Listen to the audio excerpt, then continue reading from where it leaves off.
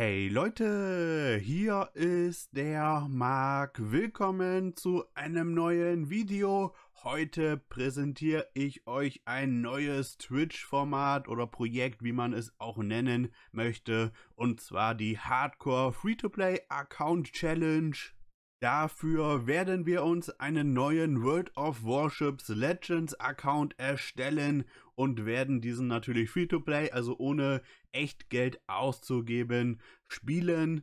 Dieses Format könnte natürlich auch sehr interessant sein für andere Spieler, die vielleicht dieses Spiel erst vor kurzem gestartet haben, dementsprechend in einer ähnlichen Situation vielleicht sind, sind sich noch nicht sicher, möchten sie Geld ausgeben oder nicht, was kann man ohne Geld machen und das wird auf jeden Fall, denke ich mal, eine ganz interessante Sache.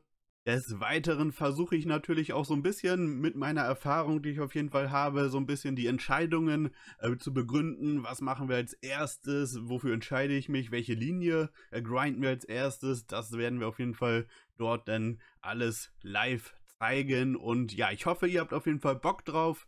Dazu habe ich mir natürlich auch ein paar Regeln überlegt, die wir auf jeden Fall versuchen werden einzuhalten. Vielleicht fällt den einen oder anderen von euch ja auch noch mal eine Zusatzregel ein, die dort vielleicht Sinn machen würde, aber das sind so die Regeln, die mir spontan eingefallen sind keine Dublonen kaufen. Sollte natürlich selbstverständlich sein für einen Free-to-Play-Account, dass man dort keine Dublonen für Echtgeld kauft. Allerdings, falls wir dort durch ja, Missionen oder Container oder Feldzüge oder gewertete Gefechte oder was auch immer irgendwann mal Dublonen verdienen sollten, die können wir natürlich ganz normal ausgeben.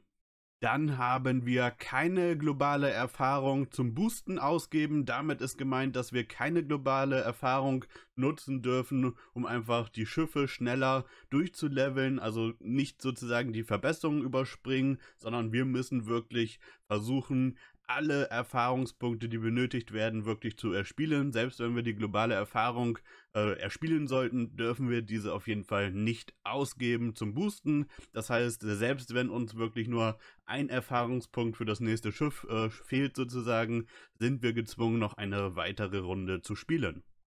Dann haben wir als nächste Regel keine Kapitäne mit Kapitäns-EP kaufen. Man kann ja für 900.000 Kapitäns-EP Kapitäne im Shop kaufen. Diese Option möchten wir für diese Challenge auch deaktivieren, dass das nicht möglich ist. Wir werden natürlich realistisch gesehen sowieso nicht wirklich schnell an 900.000 Kapitäns-EP rankommen, aber das wird auf jeden Fall nicht möglich sein. Regel Nummer 4, keine Divisionen erlaubt. Mir ist es also nicht gestattet, in einer Division zu spielen. Soll natürlich ein bisschen das Ganze realistischer machen, um dort nicht äh, zwei weitere gute Spieler bei uns im Team zu haben, um einfach mehr Siege zu garantieren, um dort schneller voranzukommen. Deswegen keine Divisionen erlaubt. Regel Nummer 5. Jedes Gefecht muss live gestreamt werden. Das heißt, ich darf auf jeden Fall nicht offline spielen. Wenn ich spiele auf diesen Account, muss ich auf jeden Fall den Stream anmachen auf Twitch, um dort auf jeden Fall für euch alles verfolgbar zu machen. Allerdings würde ich schon sagen, dass es mir gestattet ist, auf jeden Fall äh, mich in den Account einzuloggen, sozusagen, wenn ich quasi nicht streame, um einfach zum Beispiel das Büro einfach weiterlaufen zu lassen oder mir die täglichen Kisten abzuholen. Das sollte auf jeden Fall machbar sein, aber ich darf auf jeden Fall keine Gefechte spielen, die nicht live im Stream sind.